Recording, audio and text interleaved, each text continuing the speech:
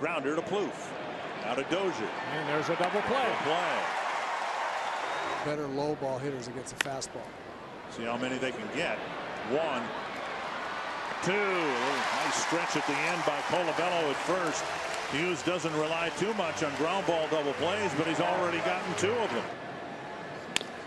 Grounder to third. Out at second. Out at first. Third double play grounder in four innings. Could be another one. Four, six, three. Escobar jumped over the runner, then set his feet and planted. Double play number four behind Hughes.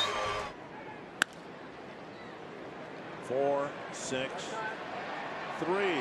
Fifth ground ball double play in eight innings.